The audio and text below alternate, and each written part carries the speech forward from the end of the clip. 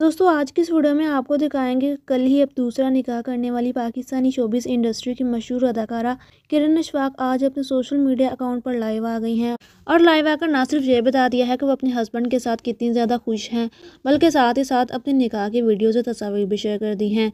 आपके साथ मुकम्मल डिटेल शेयर करेंगे, लेकिन दोस्तों, वीडियो को स्टार्ट करने से पहले आप सबसे रिक्वेस्ट है अगर आपको वीडियो अच्छी लगे तो लाइक कर दें और ऐसे मजीद वीडियोस देखने के लिए हमारे चैनल को सब्सक्राइब कर लें।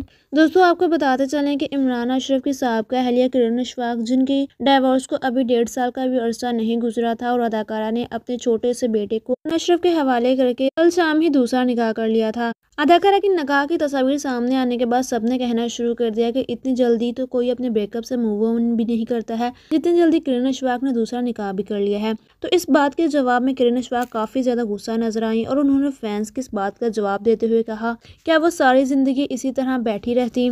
अदाकारा का कहना था कि मतलब मैं बैठी रहती, मेरे माँ बाप मुझे अकेला देख देख कर हर वक्त रोते और परेशान होते रहते। शादी न करती, बस किसी की तलाक के नाम पे बैठी रहती।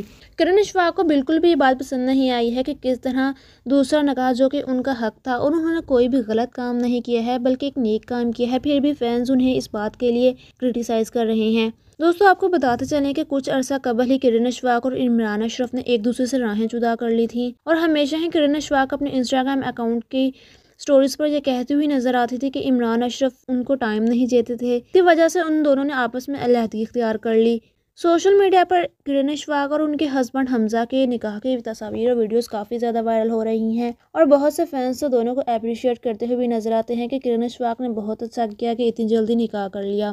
दोस्तों, आपको किरण शवाग के हवाले से वीडियो कैसी लगी? अपनी राय का इजहार कमेंट सेक्शन में ज़रूर कीजिएगा। अपना बहुत सारा ख्याल रखिएगा। अल्लाह हाफिज़।